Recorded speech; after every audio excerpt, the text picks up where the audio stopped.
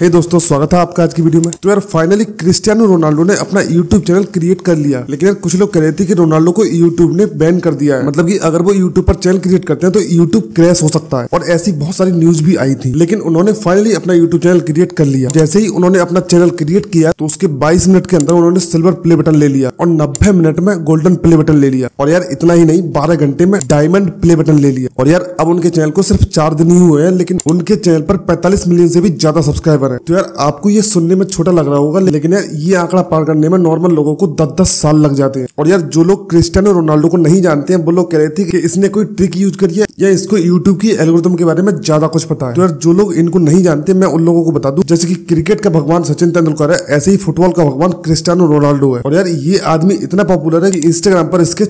छत्तीस million follower है मतलब की इंस्टाग्राम के ऑफिशियल पेज को छोड़कर सबसे ज्यादा फॉलोअर है और यार इसके फेसबुक पर भी 170 मिलियन प्लस फॉलोअर है मतलब कि कि फेसबुक के ऑफिशियल पेज को छोड़कर सबसे ज्यादा और इतना ही नहीं टेलीग्राम पर भी इसके 112 मिलियन फॉलोअर हैं बाकी इसके बारे में मुझे ज्यादा बताने की जरूरत नहीं है लेकिन आप लोग कमेंट करके जरूर बता देना की क्रिस्टियानो रोनाल्डो सब्सक्राइबर के मामले में मिस्टर बीस्ट को पीछे छोड़ सकते हैं या नहीं बाकी आज की वीडियो में बस इतना ही वीडियो पसंद आई तो वीडियो को लाइक करके मेरे चैनल को सब्सक्राइब कर लो बाकी मिलते हैं अगले वीडियो में बाय